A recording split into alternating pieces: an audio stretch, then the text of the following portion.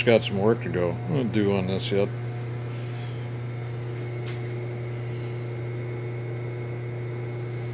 So back from powder coat, get the front bumper ready to go. And really, our front bumper is just basically foot protection. That's it. You know, this is aluminum right here. It's not steel. Um, we've shown a couple times that you know where we've had incidents out there that you know it's not it's not out there to ram somebody with. It's out there to protect your feet make sure you walk home.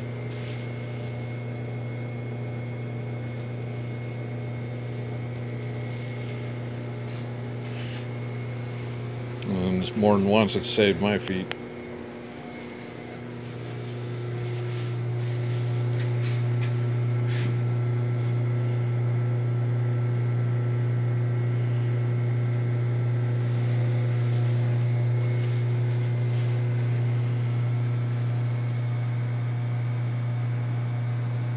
Well, it's looking pretty nice.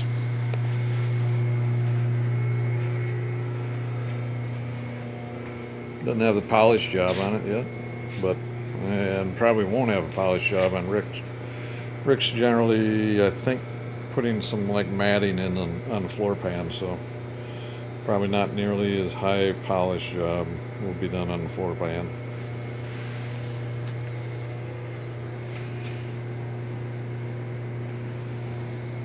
Looks pretty cool.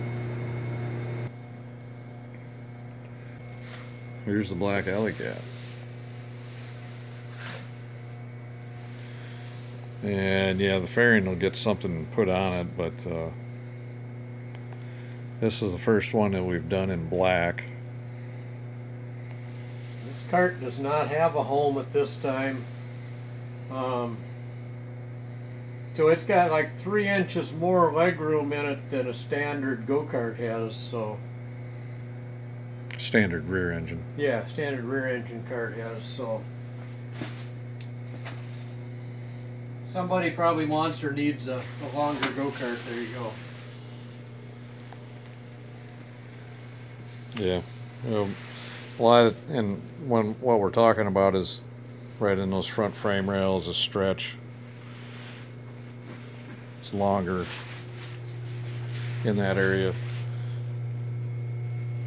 A lot of the guys are over six foot tall nowadays, and that's why you don't see a lot of them run rear engines, is because they're they're over six feet tall. And even me at five nine, uh, standard rear engine, I'm I'm folded up like a pretzel trying to drive a standard rear engine. So this has got a two inch stretch longer wheelbase, but it's still got an extra inch in the front end right here because this axle is kicked back yep. one inch more. So that's three inches longer of leg room than a original rear engine kart would have. And of course we, um, you know, it's about where you mount the pedals and that sort of thing as well. So seats angled back a little more. Yep. So it's made, this one's made for a bigger guy.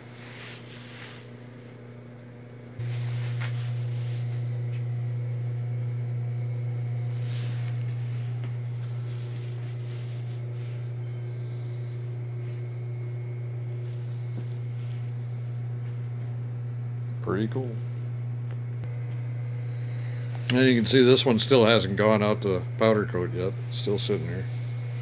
Mine is at powder coat. So eventually this one will get over there.